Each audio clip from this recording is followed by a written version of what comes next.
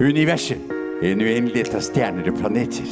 Ingen vet hvor stort eller hvor gammelt det er. Jordkloden. En planet som har eksistert i millioner av år. Skabbum, Mine damer og herrer.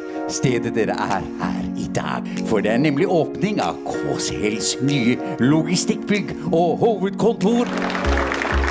Jeg ville bare ønske dere alle skikkelig velkommen til vårt uh, nye bygg. Og så har jeg vært så heldig at jeg har fått lov til å kikke litt inn i bygget før.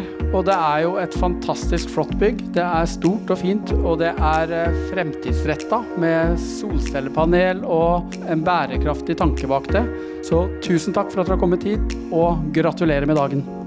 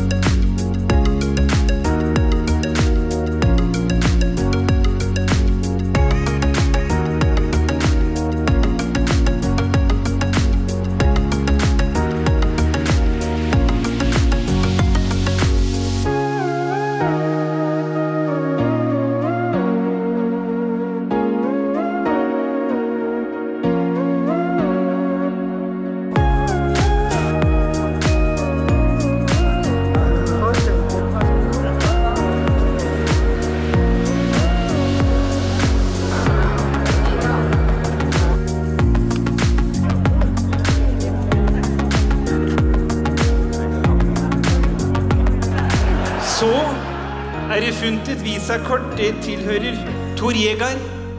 Ja, det koster å bygge lager. Takk for at vi fikk lov til å komme hit til Skoppum og være med og feire nybygget. Og jeg skjønner jo at eh, KCL går jævlig bra når de har tida til å bygge en så jævla stor festsal uten noe annet enn langbord og sånn.